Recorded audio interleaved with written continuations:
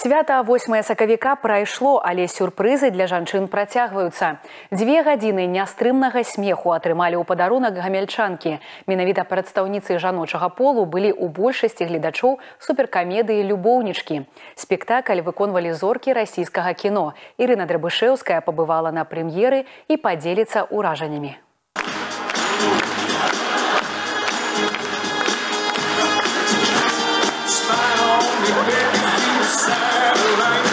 Афішы спектакля абяцалі гледачам дзве гадзіны гамерычнага смеху, зорны акцёрскі састаў і непрадказальны сюжэт. Як вынік, усе білеты былі раскуплены крыху больш, чым за тыдзень. Прычым большасць гледачоў, як высветлілася, дамы. Мы любим не только по телевизору видеть артистов, но и вживую, чтобы ощутить все эмоции, которые они передают.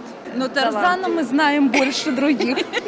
Я считаю, что для наших очаровательных э, праздник должен длиться каждый день. Посему э, замечательные артисты, наши коллеги из Российской Федерации такой подарок преподнесут нашим очаровательным леди. Это замечательный спектакль «Любовнички», это комедия. Комедия, в которой э, мужчины перевоплощаются в женщин, женщины перевоплощаются в мужчин. Это возможность взглянуть друг на друга немножко с другой стороны. Плюс, плюс ко всему с таким шикарным актерским составом. Ева, стой! Ева! Да люблю я тебя, люблю, да что... Ева!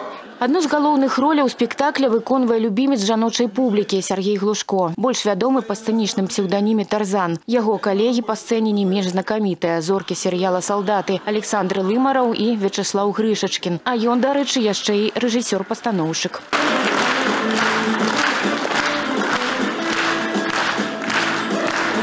Какова идея?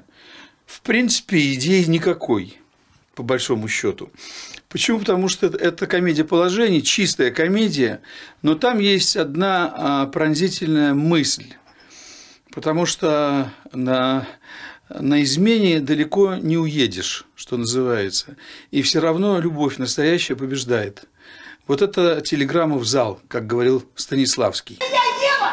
Я любовница вашего мужа! У спектаклі змяшаліся каханне і здрады, сквапнасць і выкрутлівасць, а таксама камічныя сюжэты. Усё як у жыцці, трагедыя ашуканай жонкі і не меней ашуканай палюбоўніцы. Але жыццёвая драма пераўтвараецца ў пацешную камедыю. А тэма пераўвасаблення ў мужчын у жанчын становіцца ключавой. Всегда смешно, когда мужчина надевает на себя платье, подкладная грудь, попа и так далее, каблуки. Это всегда вызывает э, бурю восторга. Бясконцы і бліскучы гумар катэгорыі 18+ не пакінуў ніводнага гледача без эмоцый. Станоўчых вядома, у зале быў поўны аншлаг. Ірына Драбышэўская, Валерый Гапанько, тэлерадыёкампанія Гомель.